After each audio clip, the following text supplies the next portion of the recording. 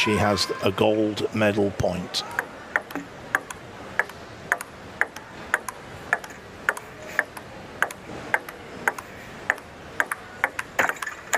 And she's done it. That backhand drive on the angle. And Zhang Bian takes the